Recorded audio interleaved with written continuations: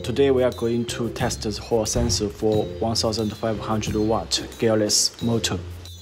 This is the Hall sensor. It includes the positive and negative poles and the signals. Set the multimeter gear to diode.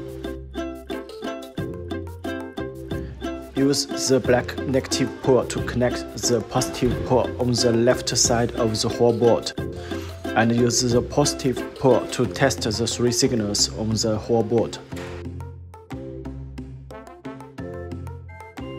If one of the measured data is very different, it means that the Hall board is broken.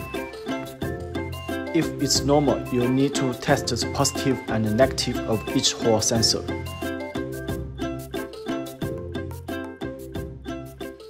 If the data is uh, too different, you will need to change a new Hall board.